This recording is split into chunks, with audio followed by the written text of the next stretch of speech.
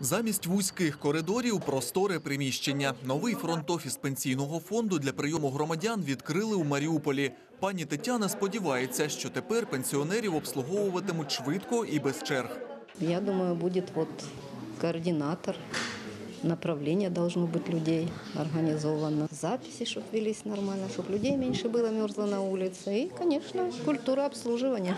Да, уже видно.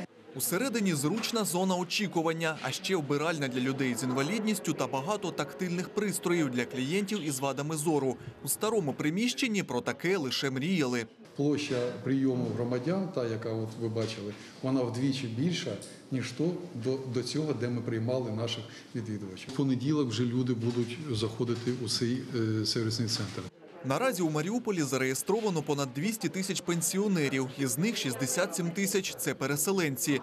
Прийом вестимуть за живою та електронною чергою. Така система дозволить скоротити час обслуговування до 15 хвилин.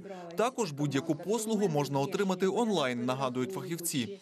Десь 30% то це звернення працюючих людей за довідками, маючи е, сервіси електронні через е, портал Пенсійного фонду України. е, Ці всі довідочки можна оформлювати дистанційно. Це вже шостий фронт-офіс пенсійного фонду на Донеччині. Подібні заклади нині працюють у Покровську, Краматорську, Слов'янську, Костянтинівці та Добропіллі. Максим Чумак, Євген Бачив, телеканал Донбас.